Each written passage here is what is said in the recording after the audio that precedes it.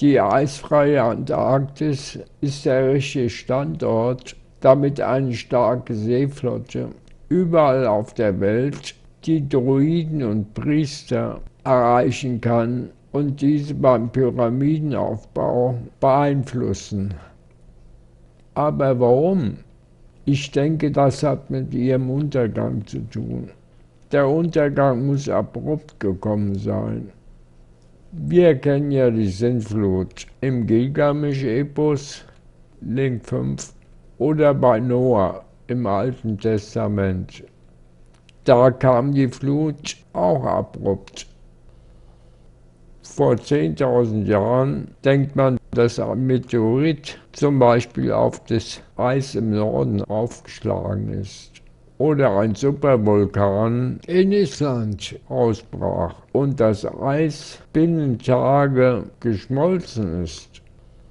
Der Meeresspiegel stieg in Tagen um 120 Meter an. Das Schwarze Meer war damals nur ein kleiner See. Das Meerwasser rauschte über die Dardanellen und füllte das Schwarzmeer. Die Unterwasserarchäologen finden heute noch die ganzen alten Küstenstädte 100 Meter unter dem Wasser.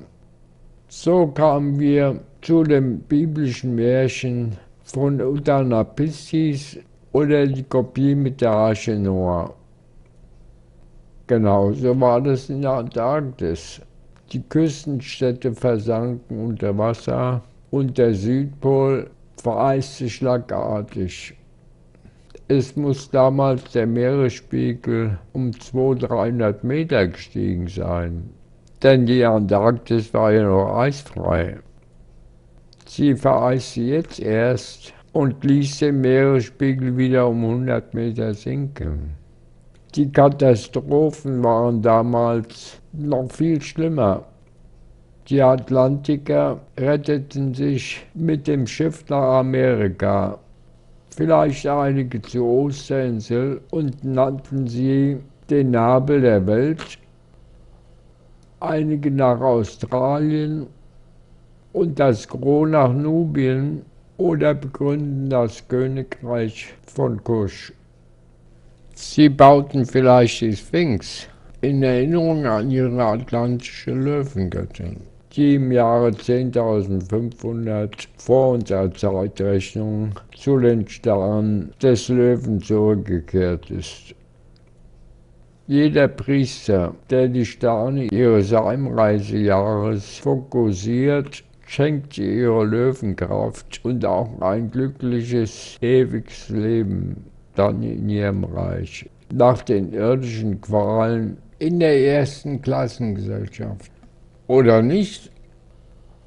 Bevor ich ende, möchte ich allen Rassisten und Eurozentristen mein Beileid aussprechen. Es ist das Schlimmste passiert, was ihnen passieren kann. Wir Weißen stammen nicht nur von den Schwarzen ab, sondern die Schwarzen haben auch die erste Hochkultur aufgebaut die alle späteren Hochkulturen tief beeinflusste und inspirierte.